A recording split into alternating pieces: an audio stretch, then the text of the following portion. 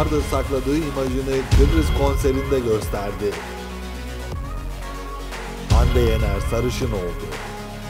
Yeni imajıyla dikkat çeken ünlü şarkıcı saçlarını sarıya, saçlarının ucunu ise pembeye boyattı.